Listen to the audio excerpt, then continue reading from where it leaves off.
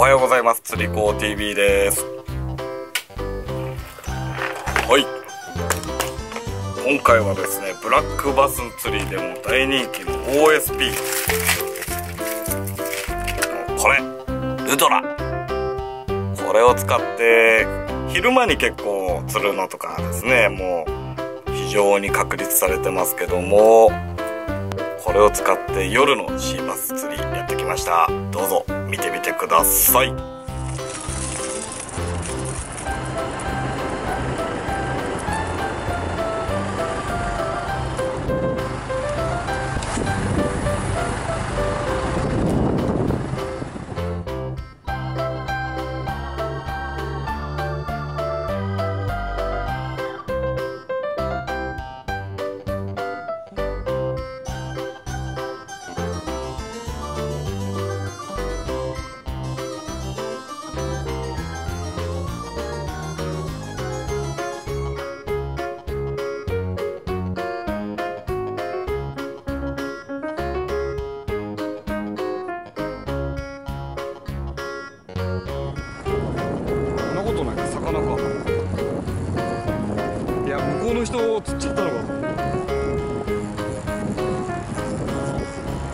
どうだろう。全然引きはねあ大大丈夫大丈夫。よいしょ。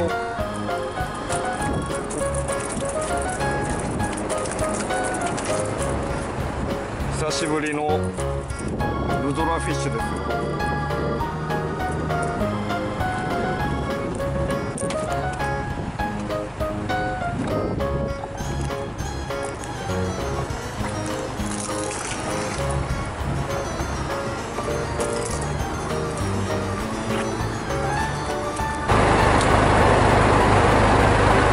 大丈夫大丈夫大丈夫。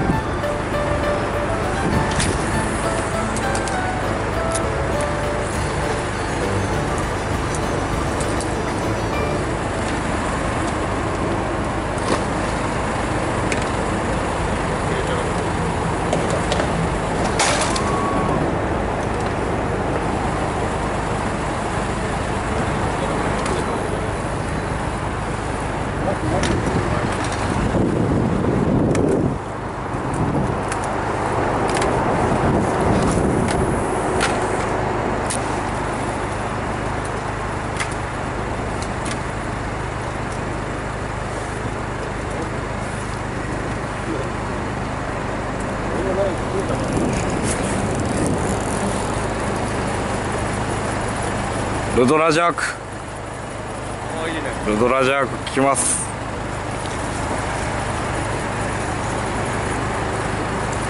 おお激激。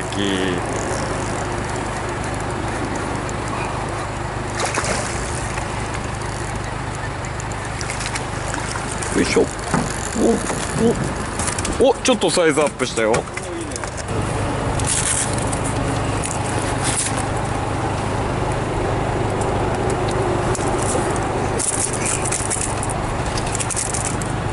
いしょ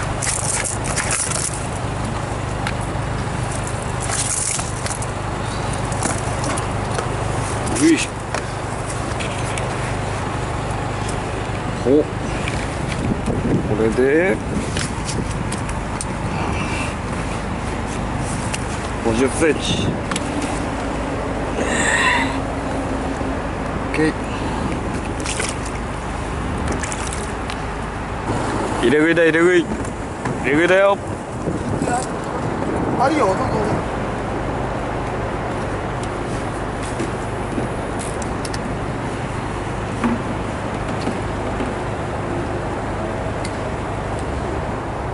ぞ岸の追ってたな今。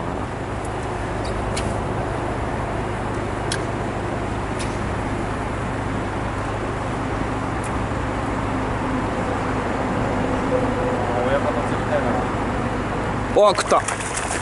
食うとこ見えた。わ危ないごめんなさい。持ってきたんだ。岸野も今そこで食い損なってたから。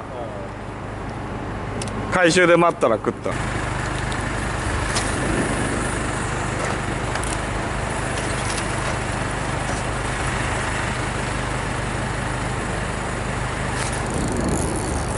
はい。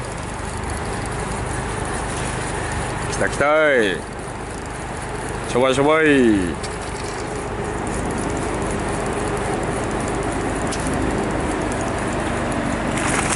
聖子ちゃん。よいしょ。おっとっとっとっとごめんなさいよ。おいおい。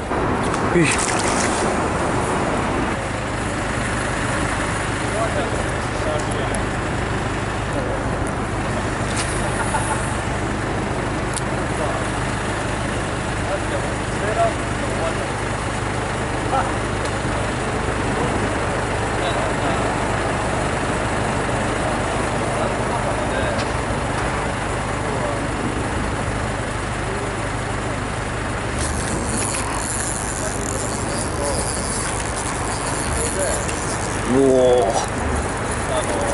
超元気。ほほほほ。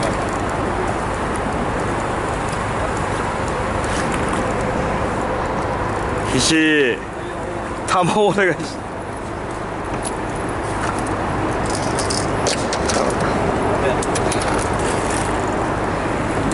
ダメか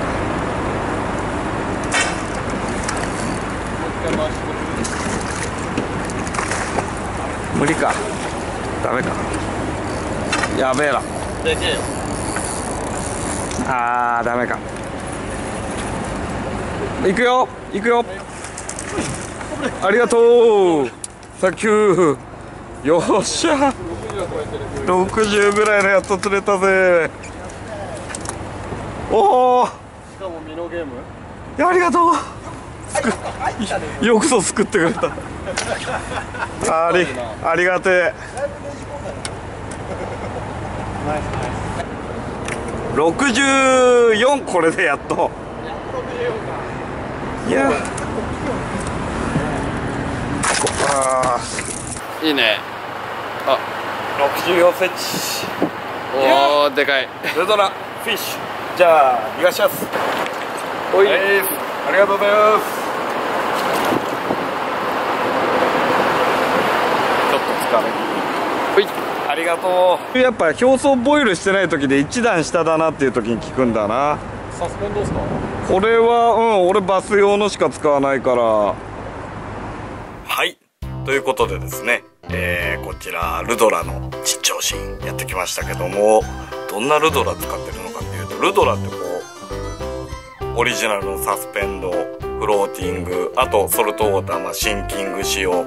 それとですねスペック2ってのがあるんですね。で今回釣ってたこれってのはですね重心移動の入っていないルドラの 130SF スペック2っていうやつですね。これでもですね結構あの飛びは非常に軽快にパヒューンと飛んでいくんで魚の食わせどころにすぐ届くっていうのとあとはもう固定重心なんで流れの速いところでこう重心移動入ってるのってついてちょんってアクション入れてからじゃないとその任意の動きが出なかったりすることがあるんですけどもこのスペック2であればですねポチャーンって着水したその場から一番いい動きが出るんじゃないかななんていうことでですね。あーこれは別に重心移動じゃなくてもいけちゃうなーなんていう時はこの比較的サイレントなスペック2を使ってみております。で針はもうそのまんまオリジナルのまんまですね。えーこれ結構重い針にしたり軽い針にするとまたいろいろと泳がせるレンジなんかも変わってきますんでね。自分はまあできる限りオリジナルの針使ってみております。まあ何にしても本当昼もよく釣れるけど夜もよく釣れるルアーだな。そんな印象でございます、えーぜひですねこれまあまあまあまあ生後とかも来るんですけどねでっかいのにも実績大な、えルアーなんで非常におすすめの一本じゃないでしょうか。そういうことでですね、えー今回は、えルドラのこちらスペック2これを夜のシーバス釣りで使ってみた。こういった動画でございました。はい。釣り子 TV でした。